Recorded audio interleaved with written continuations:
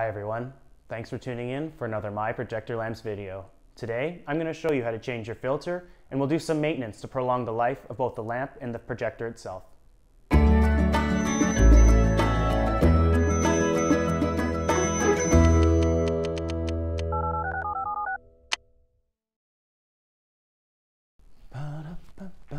Oh, sorry, catchy tune.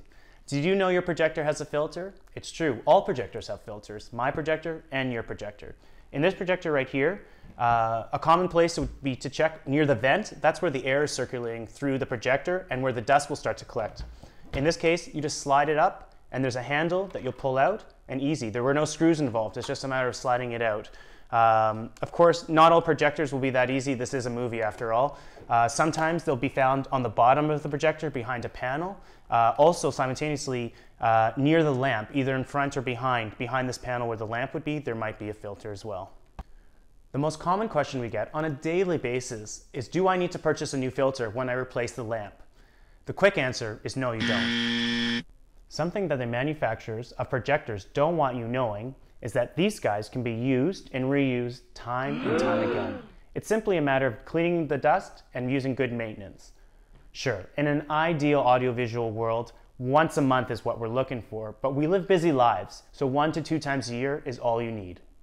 Generally, there are going to be two materials that your filter is comprised of. One is more paper-like, and the other is more sponge-like in texture. If your filter is more paper-like, you can tap it on the surface of a table.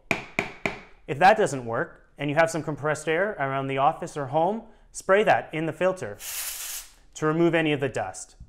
A tip I have is do this process over a garbage bin and avoid the cleanup.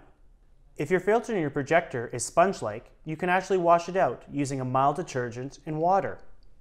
Splish splash,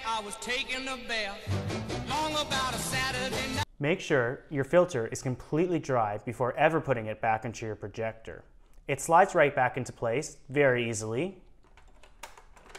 And make sure to close the hatch before you turn your projector back on. As you can see, it's not rocket science.